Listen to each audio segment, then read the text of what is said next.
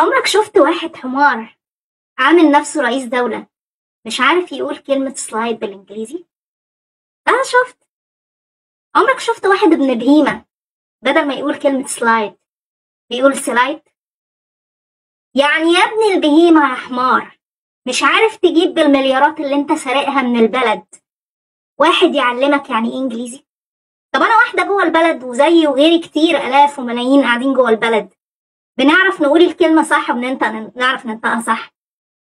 زي كلمة آه، I want to check hand you. يا حمار. يا حمار يا بهيم. لا ده مش الإنجليزي بس اللي أنت مش عارفه. ده كمان مش عارف يفرق بين كلمة أحاج وأحاجي. أنا مش عارفة. أنت طلعت من أنهي بكابورت؟ يا بجد يعني يا, يا سيزفت طلعت من أنهي بكابورت؟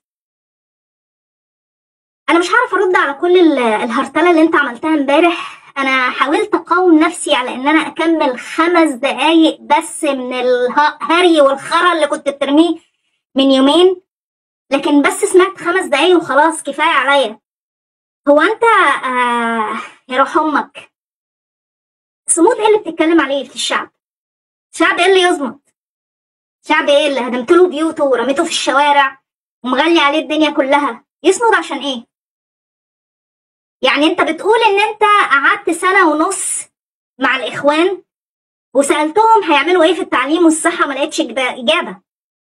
طب انت بروح أمك بقالك سبع سنين عملت إيه في التعليم؟ أقول لك انت عملت إيه في التعليم وانت قلتها بلسانك. التعليم رجع؟ آه. الصحة رجعت؟ آه. بروح أمك رجعت. انت نفسك اللي جاوبت نفسك. سبع سنين يا جحش عملت إيه في التعليم والصحة؟ مصر بقت في آخر تصنيف التعليم. عارفين ده معناه إيه؟ معناه إن أي شهادة هتطلع من مصر غير معترف بيها. يعني المصريين آخرهم يشتغلوا خدامين بره. طب المستشفيات؟ تعالى أنا بقول لي على المستشفيات. العيان اللي بيدخل المستشفيات عندنا خصوصا مستشفيات وزارة الصحة والمستشفيات التعليمية والحكومية لازم يشتري سنجاته ويشتري الدواء بتاعه. إحنا ما عندناش سراير تعالوا اتفرجوا على المستشفى اللي فيها اتنين وتلاتة بيناموا على سرير واللي بيجيله مر... بيجيبوا مراتب ويناموا عليها على الأرض. تعالوا شوفوا السرقة بتاعت الناس اللي ماسكين المخازن. الأدوات والأجهزة اللي بتجيلنا عشان العناية المركزة وعشان العمليات وبتطلع تتسرب من بره المستشفى تتباع للمستشفيات الخاصة. منظومة الصحة عملت فيها إيه؟ يا أمك. أكتر من 250 طبيب ماتوا من الكورونا بسبب إن هم ما عندهمش مستلزمات يشتروها. إحنا بنروح نشتري المستلزمات على حسابنا. الماسكات اللي أنتوا شايفينها والان 95 ماسك والحاجات دي إحنا بنشتريها على حسابنا عشان نحمي نفسنا. أنت عملت إيه في سبع سنين؟ بنيت عاصمة إدارية؟ رحت استلفت 75 مليار دولار.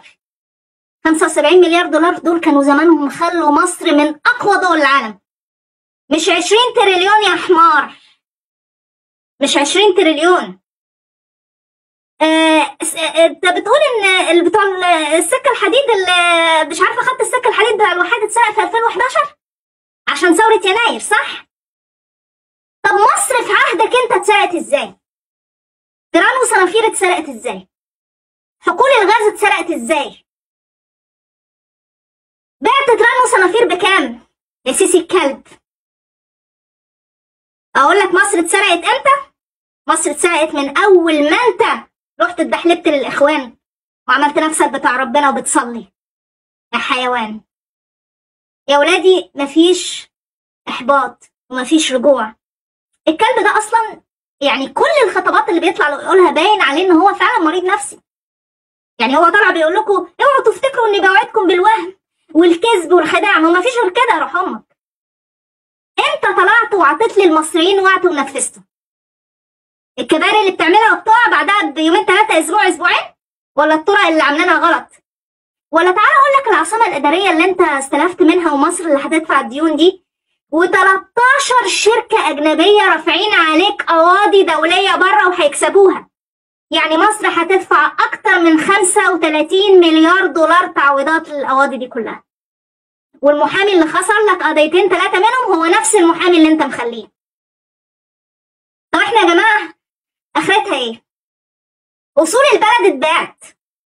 يعني هو بيتكلم عن الاحتياطي الحيوان وهو عمال يستلف ويورطنا في ديون.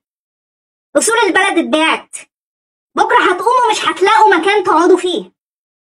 إذا كان هو والنفس طويل. أنتوا مش بتحاربوا فرد واحد بس. السيسي ابن الكلب ده مش فرد واحد بس. دي منظومة شغالة معاه. وانتوا عشان تحاربوها لازم تجيبوها من تحت لفوق. مالكوش دعوة بيه هو خالص دلوقتي. لازم توقعوا كل اللي حواليه عشان تجيبوه هو. وأول ناس تبدأوا بيهم ولاد الوسخه السيساويه اللي عايشين بينكم. المخبرين اللي بيروحوا يبلغوا عليكم. قبل ما تنزلوا المرة الجاية وقبل ما تعملوا أي حاجة لازم تخططوا كويس.